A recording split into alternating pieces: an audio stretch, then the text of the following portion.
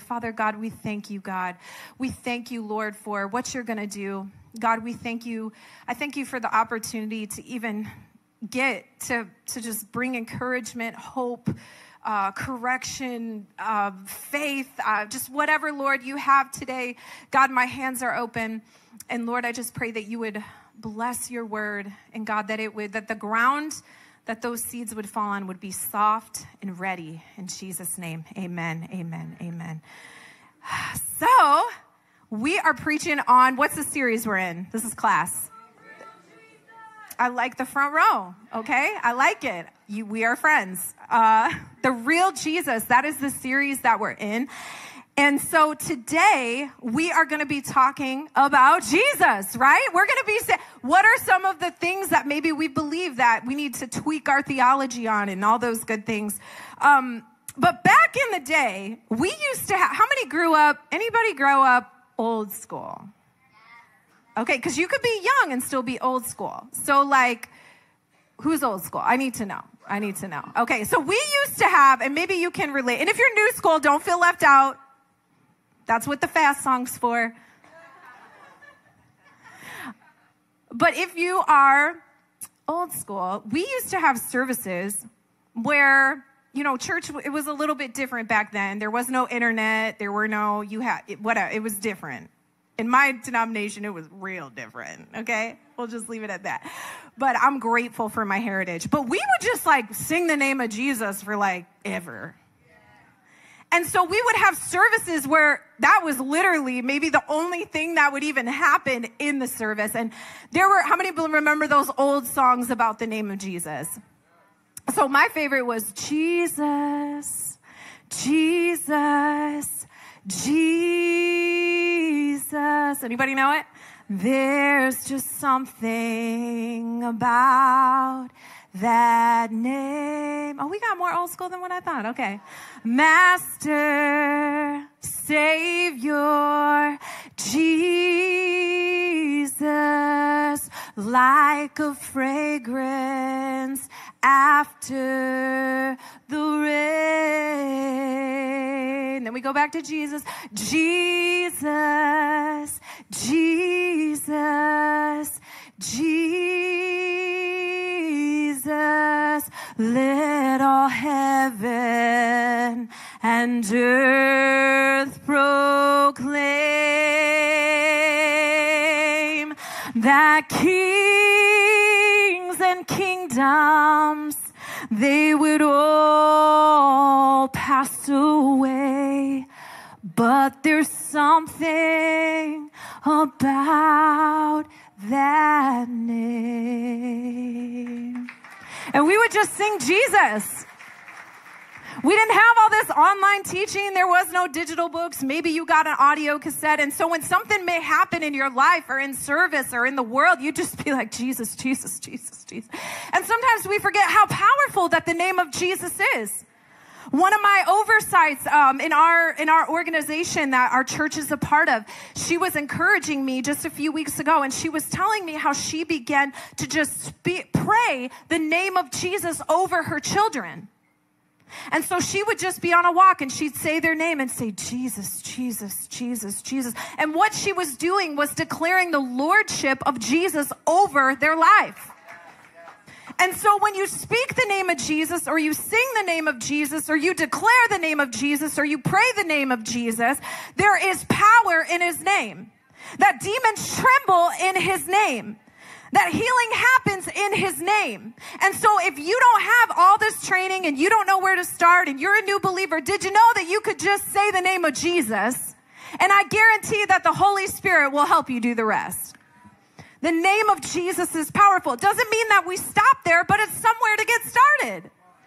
And so today we are just doing a big prophetic activation as a church. We're going to challenge, I'm going to chat lovingly challenge some thinking in your mind. I'm going to challenge um, maybe the way that you viewed the name of Jesus. Uh, we're just, is that all right? Can we just grow together? Can we walk out taking another step in the right direction? So today, y'all are breakers.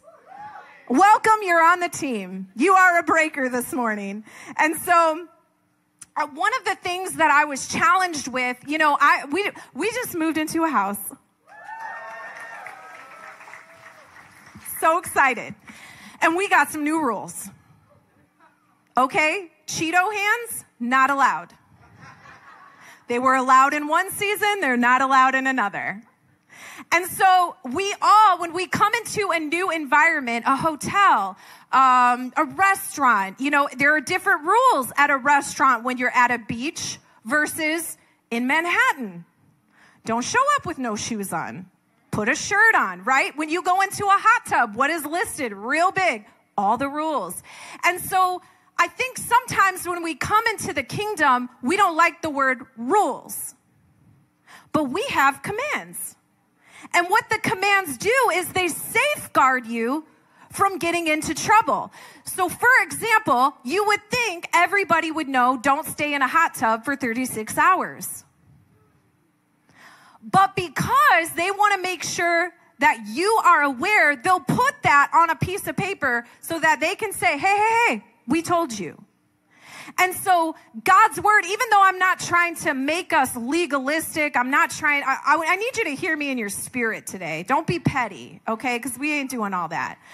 Don't be petty. But the thing is, when you come into a kingdom, maybe we don't use the word rules, but we do use the word commands. And so there's some things in the kingdom that we have to orient to in order to participate in what's safe and fruitful in a kingdom. Okay, are you with me? Well, here's the thing.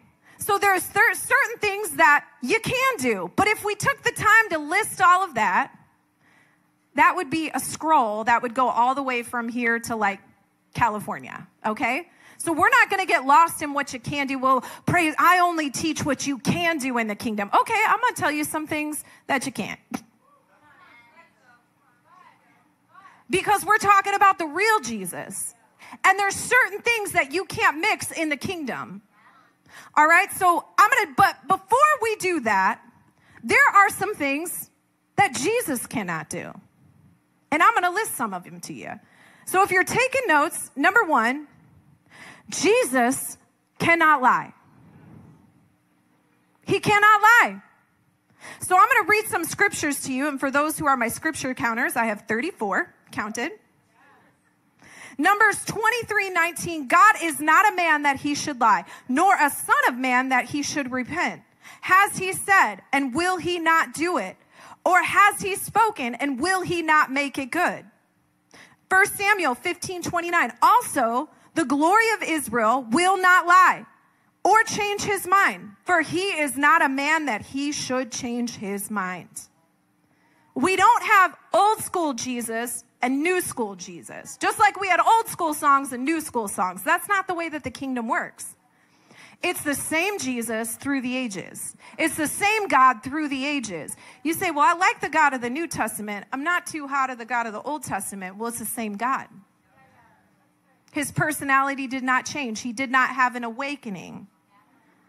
You might have had that. God doesn't have that.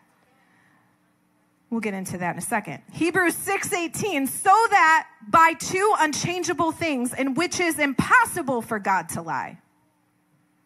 We who have taken refuge would have strong encouragement to take hold of the hope set before us. One more, Psalm 89 35. Once I have sworn by my holiness, I will not lie to David.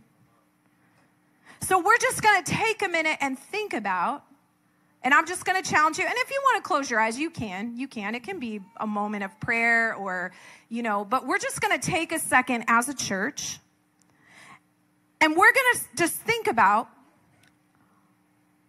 what are the things that Jesus said?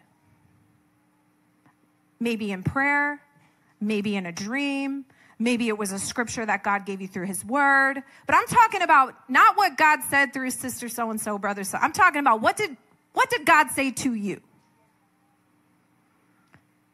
We're just going to take a second. What are the things that Jesus has said? You can write them down in your phone. I think it'd be great to go back to that. What are some of the things that Jesus has promised? Do you have an unbelieving son or daughter? Did Jesus, you know, did you in prayer, did you see, uh, you know, a vision of you having a, a a, a, family that was functional, that communicated. Maybe you're living in dysfunction. Now, what are the things that Jesus promised? What are the things that he prophesied? He isn't done yet. That's the challenge. He cannot lie. He cannot lie. If he told you he's going to do it, he's going to do it. If he told you he's going to bless your finances for honoring the Lord, he's going to do it. If he told you that he was going to provide for your family spiritually, emotionally, physically, he's going to do it. If you if you had a vision of of you having a godly spouse, hold on, he's going to do it. And so you have to go back to what did Jesus say? Because if he spoke it in his word, I can tell you right now, he's for sure going to do it. And so Jesus, he cannot lie. He does not contradict himself. So many people are online saying Jesus did that, but that was for that time. No, Jesus said it in that time and he means it in this time. We're talking about the real Jesus, not culture Jesus, not pop culture Jesus, not American Jesus, the real one. The God of the Old Testament and the God of the New Testament. In the beginning was the Word, and the Word was God, and the Word was with God. Jesus was there. And so we have to know the character of God that He doesn't lie. Okay, number two, Jesus cannot change. He doesn't change. Isaiah 40, verse 8, it says, The grass withers, the flowers fade, but the word of our God will stand forever. Y'all got to wake up. The word of God will stand forever. We did it like the sandlot in the last service forever. I don't think you guys are ready for that. That might be 1230 stuff. I don't know. Hebrews 13 8. It says Jesus Christ is the same yesterday and today and forever. Somebody got it back there. Psalm 102 27, it says, But you are the same and your years will not come to an end. So here's the thing there is certainly oil on his word. And I want to read that whole chunk of scripture in Psalm 102, verses 25 through 28. NYC, are you with me? Okay. It says, Of old you laid the foundations of the earth, and the heavens are the work of your hands. They will perish, but you will remain.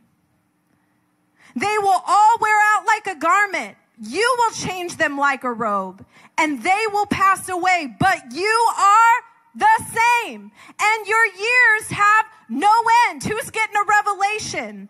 The children of your servants shall dwell secure, and their offspring shall be established before you. Do not let go of the promises of God. Jesus' words are true.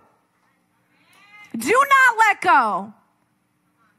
Revelation 22 13, it says, I am the uh, Alpha and the Omega. I am the first and I am the last. I am the beginning and I am the end. Let me tell you, if you walked in with dead things today, hold on. You're in the middle. He's at the beginning and he's going to be at the end. You just stay true to God's word. You can't change him. He cannot lie. He cannot change. Culture cannot change Jesus. Relevance isn't a problem for Jesus. Structure doesn't change how Jesus' kingdom operates. Legislation doesn't change Jesus' mind. Time doesn't water down his word. American can't push ideology onto Jesus. People don't have to dial him back. People cannot make Jesus more palatable. It was then and it's countercultural now. There wasn't a law that could have prevented the curtain from staying together. It was the, the action of the, of the resurrection of Jesus. You can't create laws that can prohibit his glory from coming into earth. Jesus is the same yesterday, today, and forever. And we have tried to serve him up as palatable. But he said, let me read you what Jesus said. Matthew 7 13 through 14. Listen to this, especially if you're in the valley of decision. I pray that there's a Holy Spirit awakening in you today. This is serious. It says, enter by the narrow gate. For the gate is wide and the way is easy that leads to destruction. And those who enter by it are many. For the gate is narrow. Get this in your spirit, believers. And the way is hard that leads to life. And those who find it are few. Welcome home. Narrow gate, hard road. Love wins. Narrow gate, hard road. I got to teach you the real Jesus. Now, is he with you? Absolutely. Does he love you? Absolutely. But if your church doesn't have anybody leave it,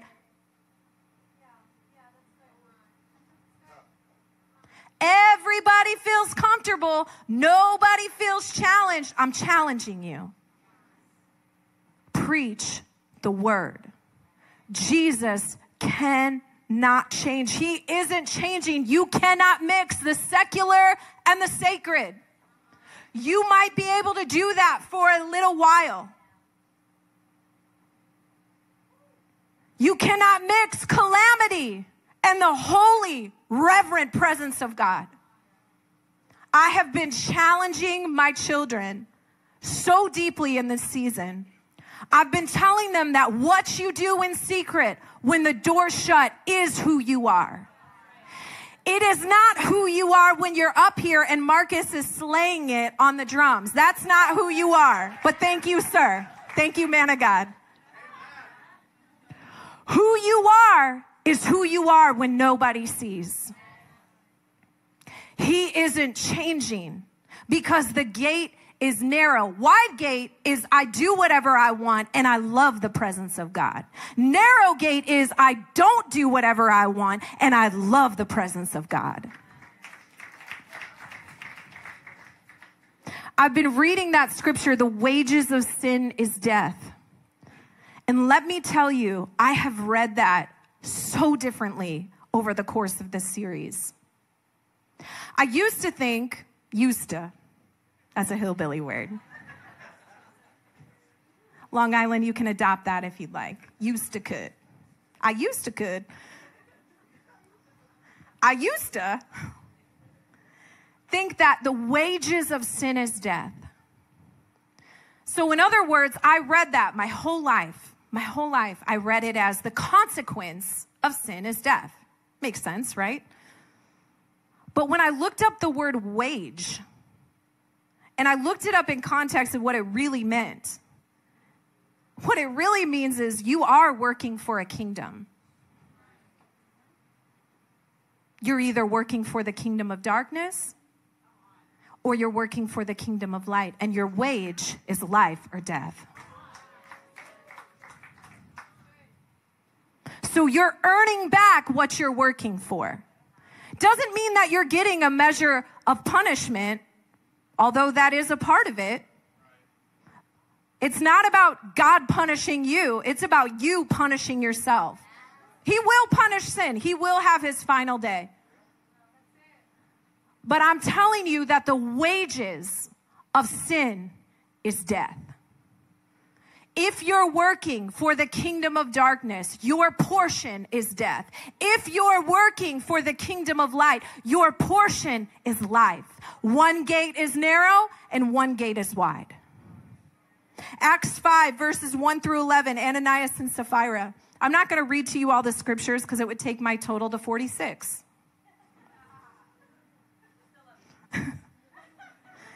Ananias and Sapphira. You can't mix the spiritual and the sacred.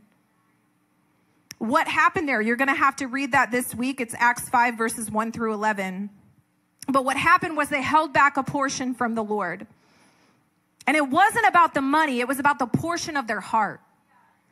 And what happened is God's physical presence, it ends up showing up in that room, and they could not hold up in the glory of God. You cannot mix the sacred and the spiritual. You cannot mix the secular and the sacred together. They were dead at the door. And let me tell you, for all those who are like, well, I believe in the new covenant, that was in the new covenant. That was after Jesus that that happened. Jesus cannot change. You mean to tell me that we're cheapening the holiness of his spirit, the holiness of his glory, the holiness of his ministry? They couldn't host the holiness of the presence of God. He cannot lie. He cannot change. Holiness, we need a holiness revival up in this generation. And I'm seeing it. Man, I'm seeing Gen Z who says, I don't want fake. I don't want fake. I'm watching it. I'm watching people who are like, I can't do it anymore. I heard somebody say a few weeks ago, I can't live like this anymore. And I said, because God is calling you to holiness. It's exhausting trying to live two lives. It's exhausting trying to believe in two different Jesuses. It's exhausting working for two kingdoms. We need a holiness and a righteousness revival. So, who is the real Jesus? In this season, in this time in history, you better know. You have to get a revelation of who Jesus is. We're going to take a second and we're just going to examine what are some of the lies that we've believed about Jesus. What do you need to replace with his truth this morning? So you believed a lie. What is the truth that needs to be replaced? John 1 1, it says, In the beginning was the Word, and the Word was with God. And the Word was God. You can't separate him from his Word. Well, I believe in a higher power. I believe in God. All right, then you better believe his scriptures. You have to reverence his scriptures with your life, not your words, not on Sunday.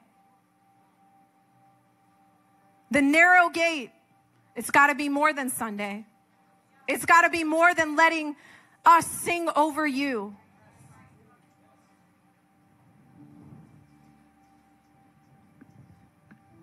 Let's just take a minute and you can jot these down if you want or put them in your phone. But what's the lie that we've accepted about Jesus? Don't write down the lie that like so and so has. I'm talking about you.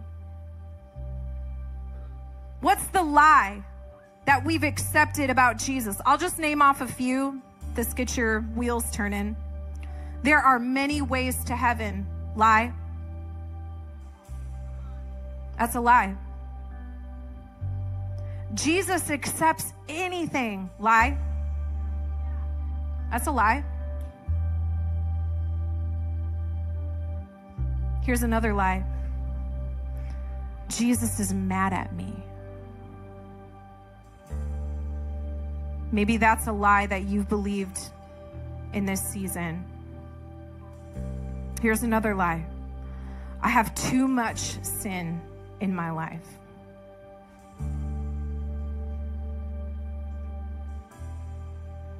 So, what are the different lies that you've accepted?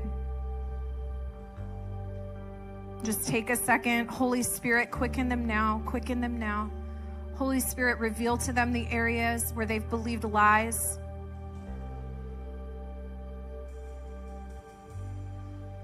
So, what's the biblical truth, right? That we need to replace with that lie.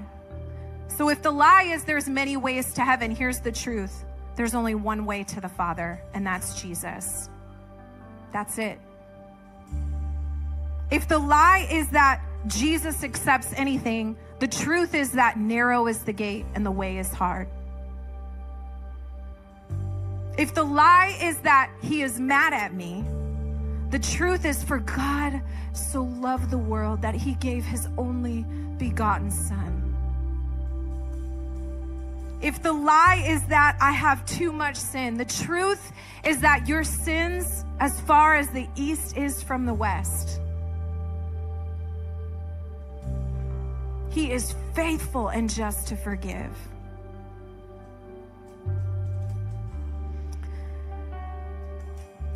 So he cannot lie, he cannot change. I want y'all to stand to your feet on this last part. The last thing that I'm going to talk about today that he cannot do, he cannot leave things dead.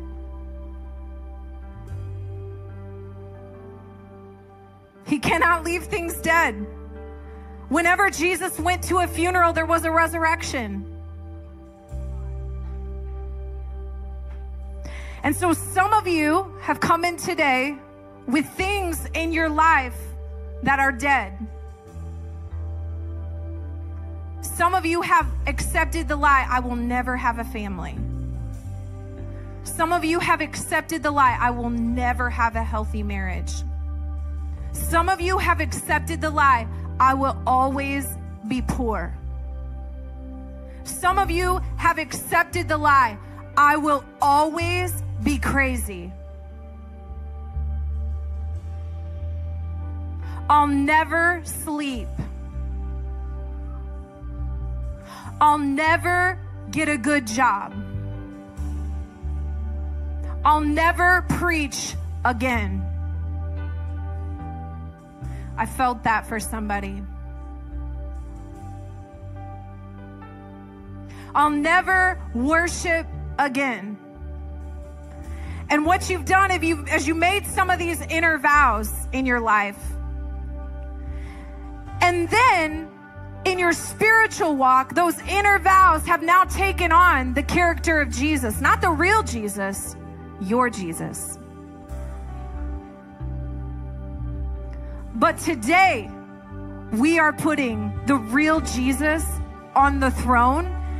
And he's not just this person that we sing to on Sunday, but now he's the lordship in our life. Lord, whatever you say, I will do.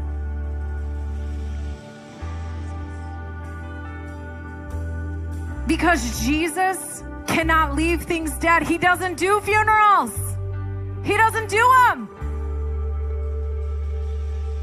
Let me read this to you Luke 7 12 through 15. It says, As he drew near to the gate of the town, behold, a man who had been dead or who had died was being carried out, the only son of his mother, and she was a widow, and a considerable crowd from the town was with her. And when the Lord saw her, hear this, he had compassion Jesus has compassion for the things that are dead in your life. He sees you. Man of God, He sees you. Woman of God, He sees you. He's got compassion. It says He had compassion on her and He said to her, Do not weep. Then He came up touched, and the bear stood still. And he said, Young man, I say to you, arise. And the dead man sat up, began to speak, and Jesus gave him back to his mother. When Jesus raises things, he puts them back in their rightful place. If your son or daughter is running from the Lord, don't worry. Hold on. Believe what he said. Narrow is the gate. I believe your son and daughter right now could have an angelic visitation. I believe right now the Holy Spirit can get to them and minister to them right where they are. So we see three funerals. We see one in Luke 7. Another one we see Jairus' daughter. But Jesus, on hearing this, answered him, Do not fear and only believe that she will be well. Some of you have had too much fear in the areas of unbelief. But Jesus said, Do not fear, only believe, and then she will be well. And when he came to the house, he allowed no one to enter with him except Peter, John, James, and the father and mother of the child. All were weeping and mourning for her, but he said, Do not weep, for she is not dead, but sleeping. And they laughed at him, knowing she was dead. Some of you have family members, friends, laughing at you for believing what God said about your family, believing on what God said about your ministry. And what the word of the Lord is to you is that it will rise. Do not allow their unbelief to enter into this season with you. And they laughed at him, knowing she was dead. Verse 54 But taking her by the hand, he called, saying, Child, arise. And her spirit returned, and she got up at once. Rise up. Dead things coming to life today. And I love how Jesus didn't allow just anybody in the room where there needed to be a miracle.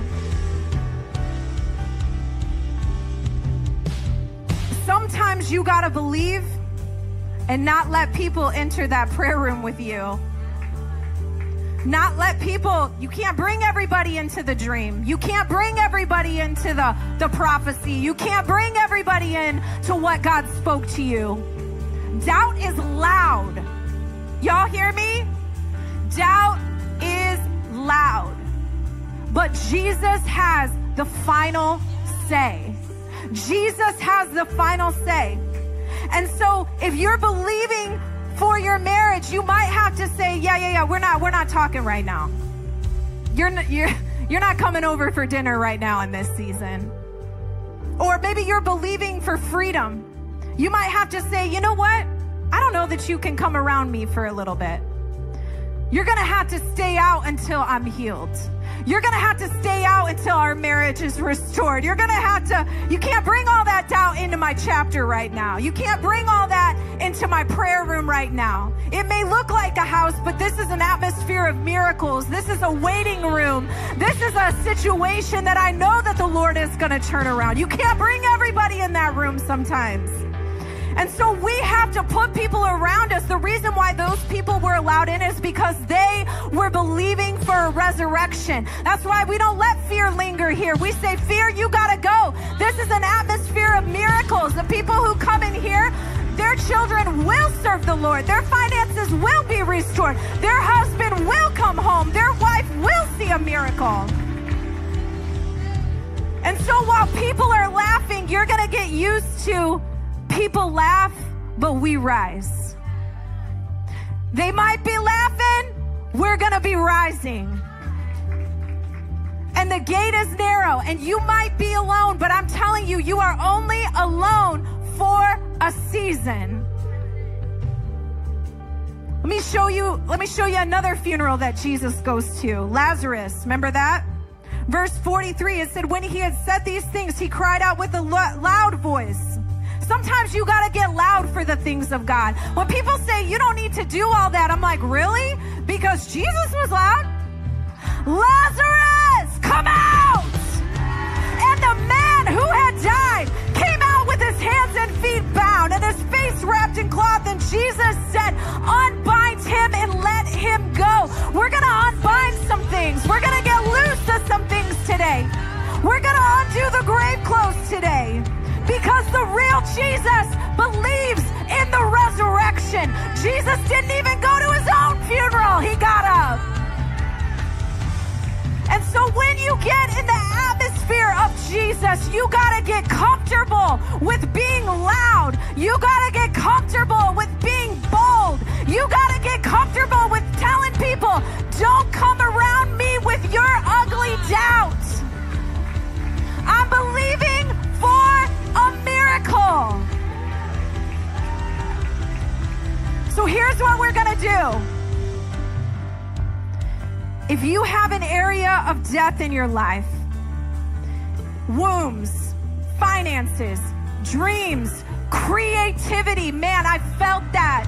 Somebody here's felt a death of creativity. Business,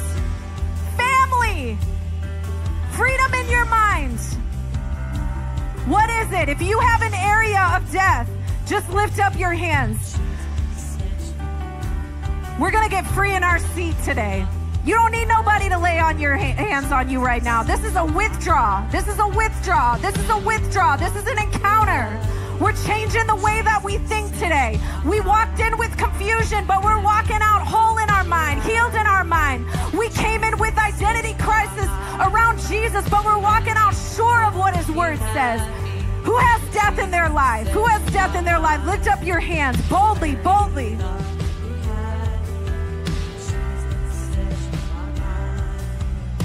Matthew 27 51 through 54, it said, Behold, the curtain of the temple was torn in two from top to bottom, and the earth shook, and the rocks were split, and the tombs, plural, plural, plural, and the tombs were opened, and many bodies of the saints who had fallen asleep were raised. And coming out of the tomb after his resurrection, they went to the holy city. They appeared to many.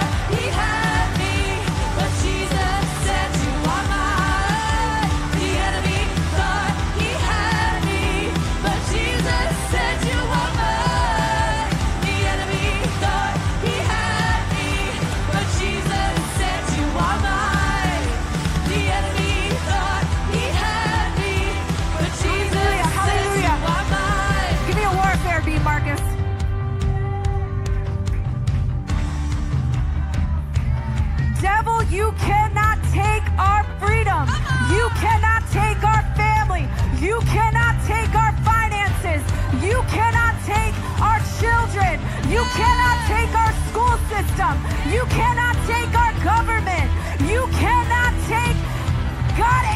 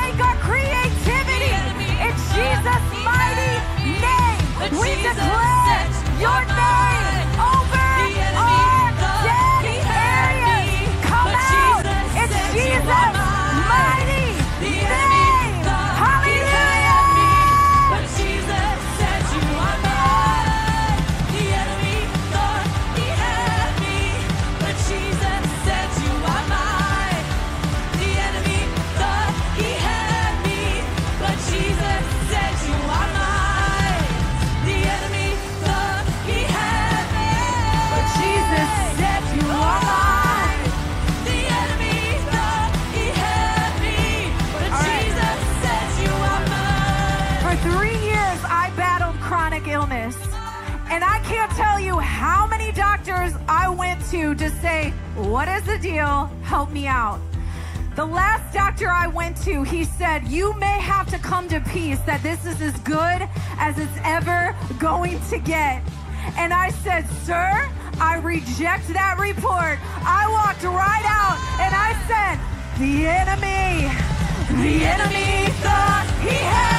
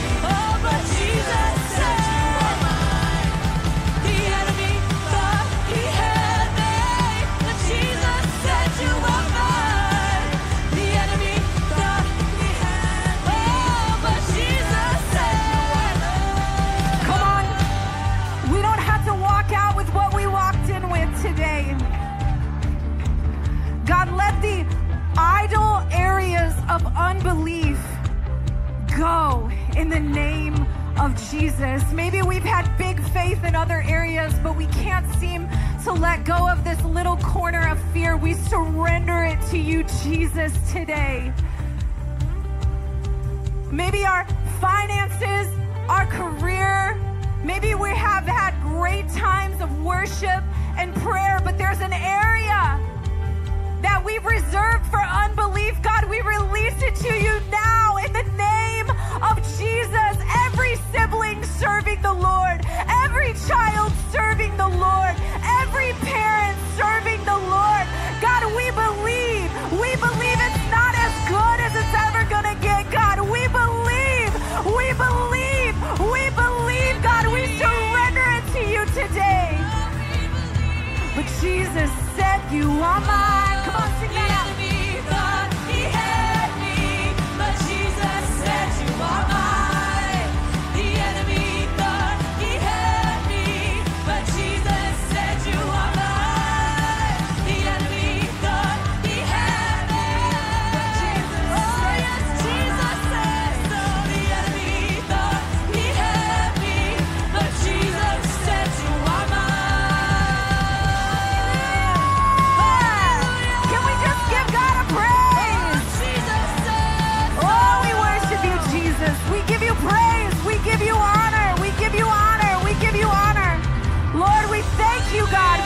you're doing, God. Thank you, Jesus. Hallelujah. Hallelujah. Hallelujah. Hallelujah. Well, we're just going to get more sweaty together, I guess. How many surrendered an area of unbelief? He cannot lie. He cannot change. He cannot leave things dead today. Amen. Amen. We may have walked in with dead things, but we're walking out with new hope, new life. We're walking out on a narrow gate. Amen. Amen. Amen. And I can assure you, you will not be alone here. If you're visiting and you're like, oh my goodness, I've just been doing this on my own, don't join a connect group. We want to connect with you. We want to believe God for you because this is an area of constant submission you're going to walk out he, being healed in one area of unbelief. And let me tell you, you get a bill in the mail on Monday, you're going to have another area. But you just keep on believing, you keep on coming into the presence of God. But let the real Jesus change you. Don't let therapy Jesus change you. Don't let, you know, hippie Jesus change you, political Jesus change you. Allow the real Jesus of the Holy Scripture to change you. Amen. Amen. Amen.